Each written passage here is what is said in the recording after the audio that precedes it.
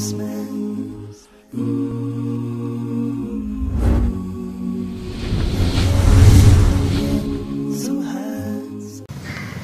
the wisdom to implement things. Study the history of what is going on around you.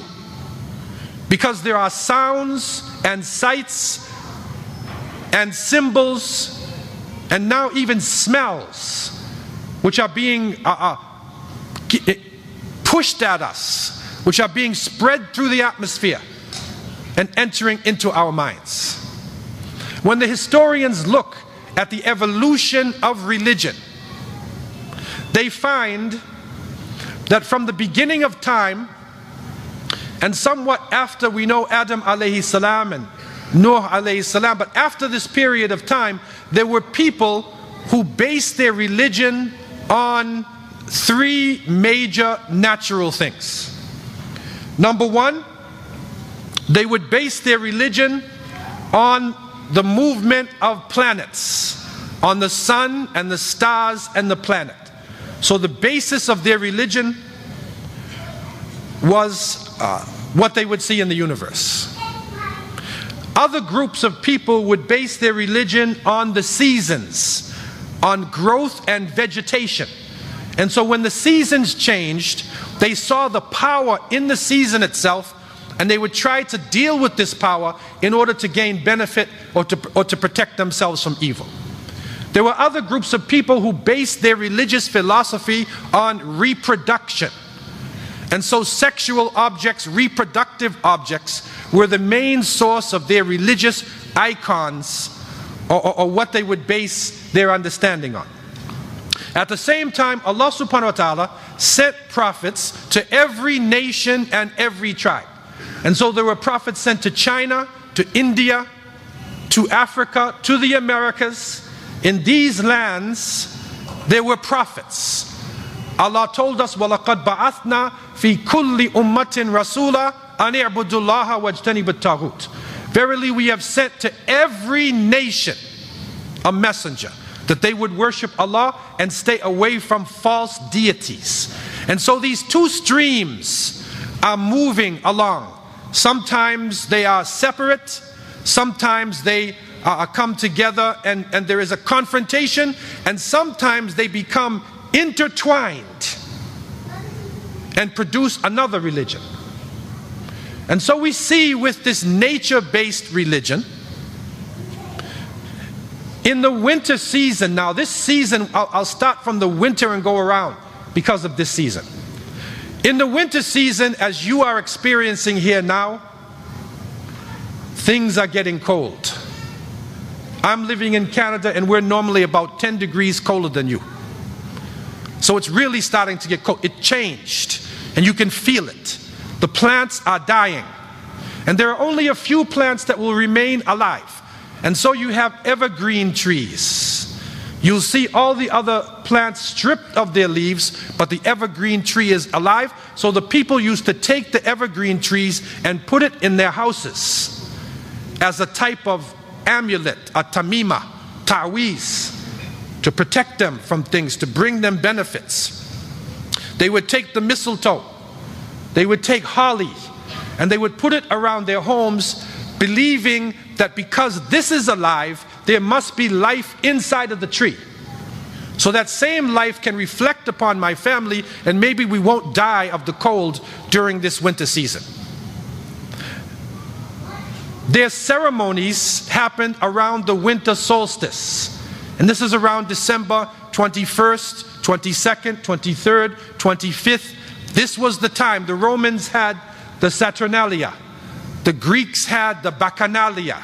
This was for their so called god Bacchus, the god of wine, Saturn, the god of, of, of, of time, the, the, the sun god. And so they based their ceremonies on this, and, and powerful celebrations were developed. In the north, the Druid people of the north had special bonfires that they would light at this time, sacrifices that they would make uh, at this time.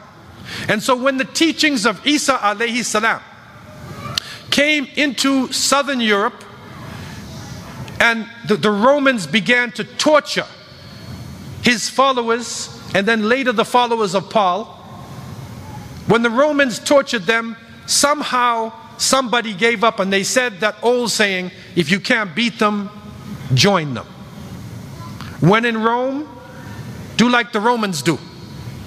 And so they made it uh, fair seeming, they made it uh, uh, possible for the other people, the pagan people, to accept the religion, to accept them, not kill them. And then uh, the intention was they could keep their religion and the other people could keep their religion. And so you have a winter ceremony. Isa salam, Jesus not born in the cold weather.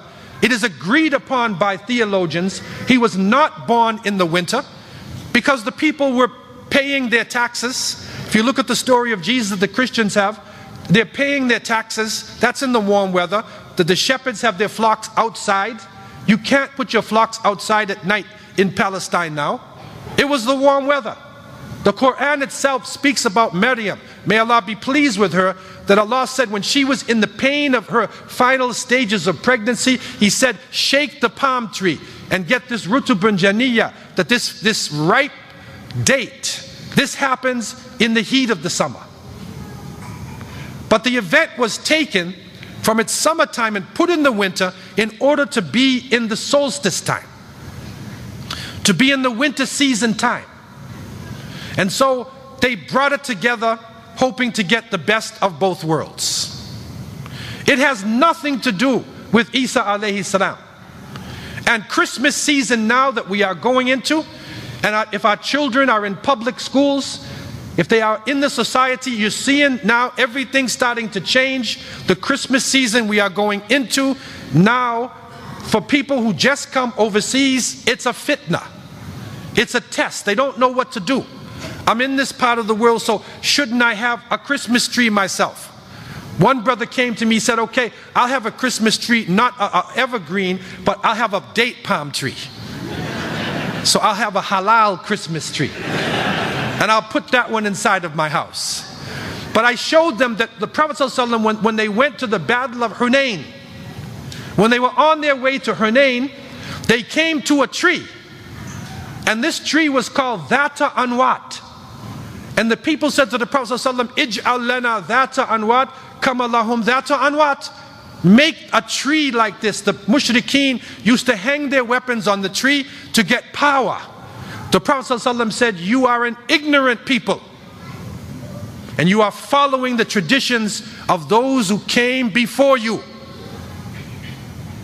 And he told them in another tradition, speaking about the future, you will follow them inch by inch and foot by foot. Even if they crawl into a lizard's hole, you'll crawl inside there with them. And they said, Who? The, the Jews and the Christian? He said, Famen, who do you think? You will crawl in the lizard's hole with them. And so Sadaqah Rasulullah alayhi salatu wasalam, it has come to pass.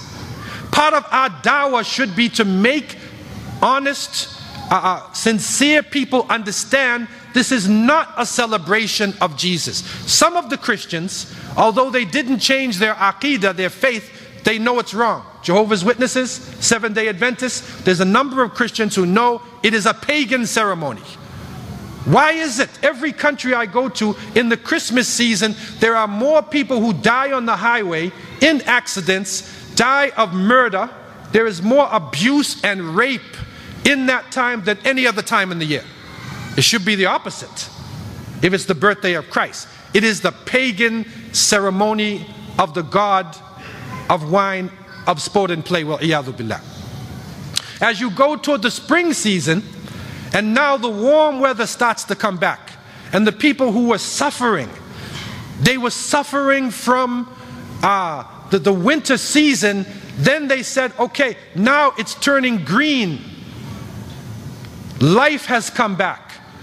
And they began to worship a goddess who they call Ostray or Ostern or Easter.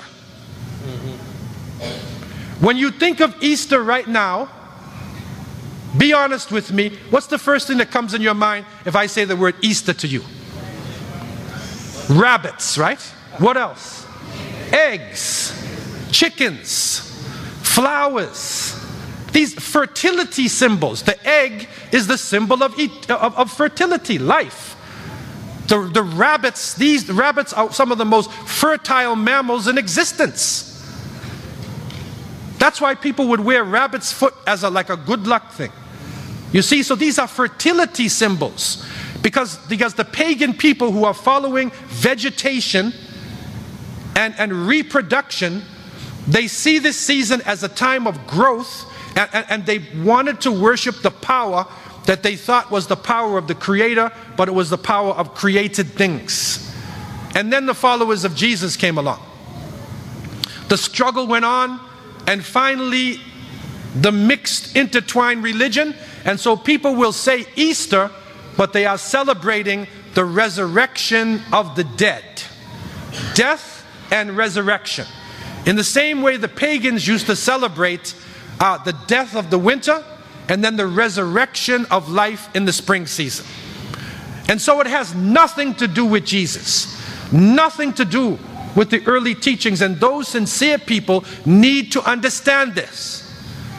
We need to give them the dawah and show them the truth about Christianity that is not really the teachings of Jesus you are, you are following now. You are in a confused form of paganism that Jesus himself would have run away from. He was following the law of Moses.